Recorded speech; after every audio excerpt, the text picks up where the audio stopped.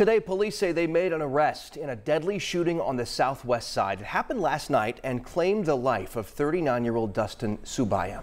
Police say it happened on Kappes Street near Morris Street and Belmont Avenue. Our Chase Howell went back to the neighborhood where SWAT teams spent hours yesterday. I spoke to a neighbor who says Soubeih was shot and killed here on this front porch. She says the alleged shooter lived at this home right next door. And according to that neighbor, SWAT sat outside that home for eight hours before arresting the alleged shooter two and a half miles away this morning. Neighbors on Kappes stood on the street in disbelief as police investigated a deadly shooting Monday night. It kills me. It kills me. I lost a good friend, and I lost two good friends. One's probably going to go to prison for the rest of his life, and the other one is going to be buried in the ground.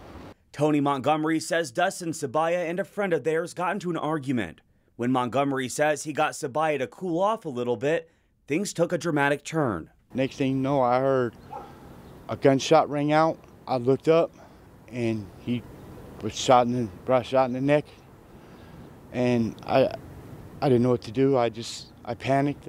I told people call 911. IMPD says information led them to believe the man who allegedly shot Soubeih was in a neighboring duplex. And after hours of SWAT being on scene and searching the home, police say he was nowhere in sight. Obviously, we have to do everything that we can as an agency. That's number one is uh, making sure that the community is safe, making sure officer safety is there.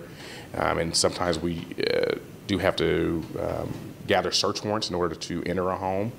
Um, and so we, our agency has practiced slowing things down um, in order to uh, give uh, suspects an opportunity to um, surrender. Police say they found the suspected gunman two and a half miles away on North Traub Avenue early Tuesday morning. And while police may have found the person responsible, Montgomery hopes lawmakers can find a solution to all the gun violence.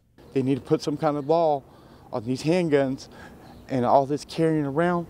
It's nonsense, man. They need to stop this. They need to do something because what they're going to keep doing is going to be death after death after death. And that's what's going to happen. And the government ain't seeing this. The man who is said to have shot and killed Soubeih faces a preliminary charge of murder.